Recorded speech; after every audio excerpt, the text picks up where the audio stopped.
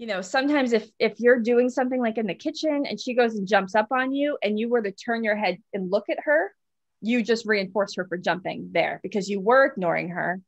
She jumped you looked at her she's like oh I, I know how to get you to look at me now. All i have to do is put my paws up on you and then you'll look over at my direction and then that's attention right? What do you do immediately after the behavior?